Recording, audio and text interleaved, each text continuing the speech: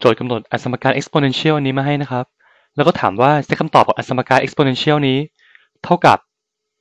เซตคำตอบของอสมการในข้อใดต่อไปนี้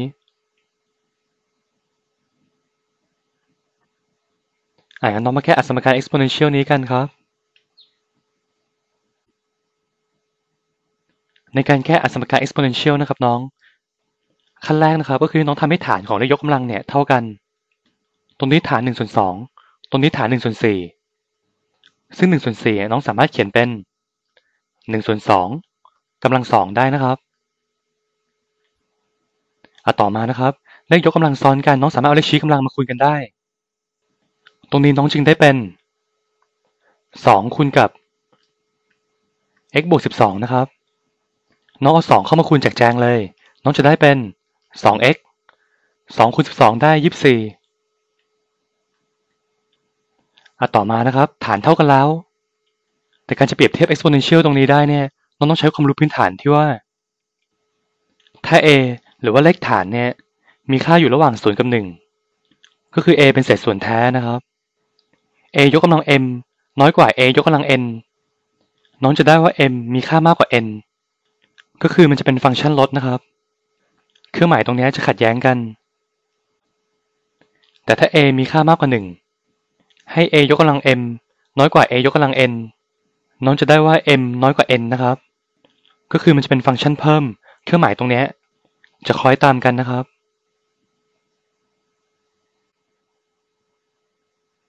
ดังนั้นตรงนี้ฐานเป็น1ส่วน2 1ส่วน2เป็นเศษส่วนแท้ ก็คือมีค่าอยู่ระหว่าง0กับ 1 ฟังก์ชันนี้จึงเป็นฟังก์ชันลดนะครับ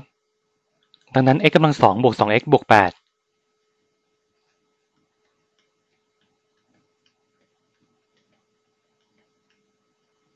เครื่องหมายน้อยกว่าตรงนี้น้องก็เปลี่ยนเป็นเครื่องหมายมากกว่า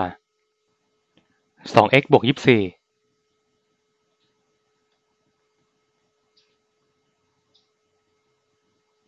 ก็คือเครื่องหมายตรงนี้มันจะขัดแย้งกันนะครับอะต่อมานะครับ การจะแก้อสมการผู้นำน้องก็ย้ายข้างหนึ่งเป็นศูนย์โดยให้สัมประสิทธิ์ข้างหน้าตัวแปรยกกำลังสูงสุดเนี่ยมีค่าเป็นบวก ดังนั้นน้องก็ย้ายค่าฝั่งนี้มาไว้ฝั่งนี้นะครับ ย้าย 2x มาฝั่งนี้ได้ลบ 2x ย้าย 24 มาฝั่งนี้ได้ลบ 24 ฝั่งนี้ก็จะเป็น 0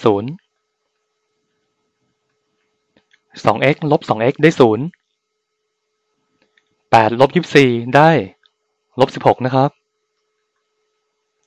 16 เนี่ยจริง ๆ แล้วมันก็คือ4กำลัง2นะครับ หน้ากำลัง2ลบหลังกำลัง2น้องก็จะได้เป็น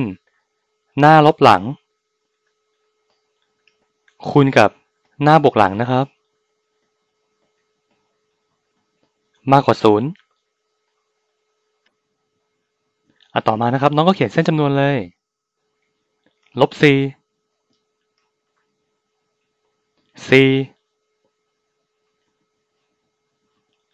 ใส่เครื่องหมายบวก ลบบวก สลับกันจากขวาไปซ้าย เครื่องหมายมากกว่าเอาจุดโปง และพหุนนามนี้มีค่ามากกว่าศูนย์น้องเอาช่วงบวกนะครับ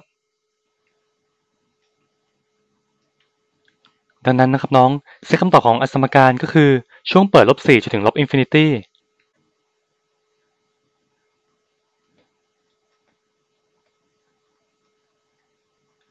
ยูเนียนกับเปิด4จนถึงเปิด infinity นะครับ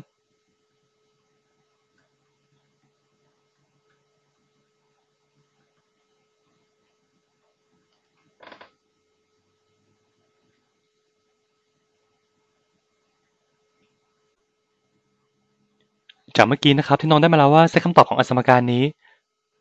ก็คือช่วงนี้นะครับ โจทย์ถามว่าช่วงนี้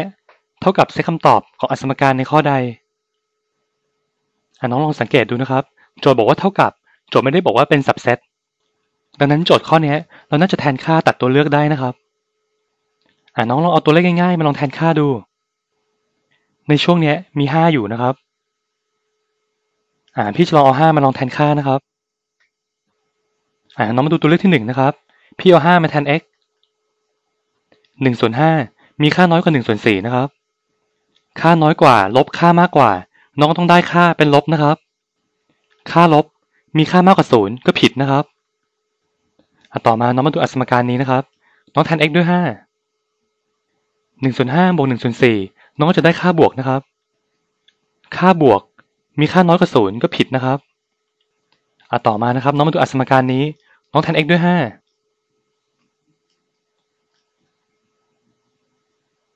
ห้ากำลังสองได้ยี่ห้าห้าคูณสามได้สิบห้ายี่ห้าบวกสิบห้าลบสี่น้องได้ค่าบวกนะครับ ค่าบวกมีค่าน้อยกว่าศูนย์ก็ผิดอีกนะครับดังนั้นก็จะเหลือตัวเลือกเดียวแล้วนะครับ ข้อนี้น้องจึงตอบตัวเลือกที่สามได้เลย โอเคนะครับ